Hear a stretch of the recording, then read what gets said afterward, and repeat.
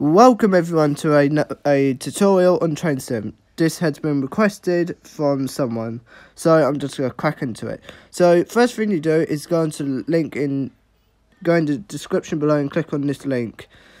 And you go onto this website, Great British Rail Works website, and you just wait for the things to load.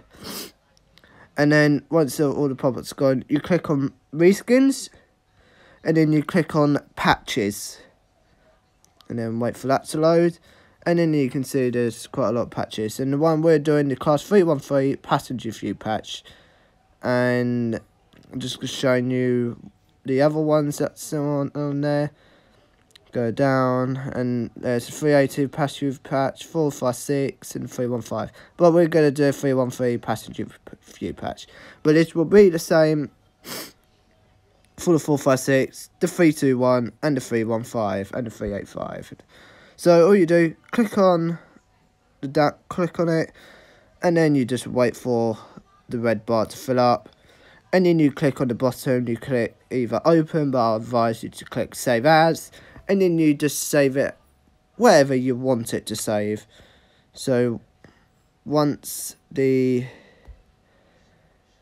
thing has downloaded, as you see, it's an RW tools and there's the manual, but some people are a bit confused how it works.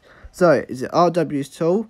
What I did, I copied it to my desktop because I don't really like using RW tools, like the actual thing. So what, what I think best to do is download 7-zip or WinRAR, but I prefer 7-zip. Open it and then go on to Owner and then desktop and then find the thing, which is uh, there. You double click it and you and then what you do, you click, you open your Railworks folder, if I can find it. Uh, just click on one of these and then go back to Railworks. But wherever your Railworks is located, you just go onto it. So click on the Railworks folder, go, and then you drag the assets folder from the download into there. And then that's pretty much it that is pretty much it. I'm just checking it's in there. So we'll go on 313, we go down, if I click on Rail Vehicles, and then if I go into Pass View, that's the Pass View cam. So now, let's hop into the game. See you in a second. So, we are in the game with the, three, the Southern 313 at Brighton. So as you can see, the Pass View has installed correctly, and I'm just showing you all the stuff things. Yeah, stuff. So as you can see, you can flip either side. And the doors don't open in the passenger view. Um, so yeah.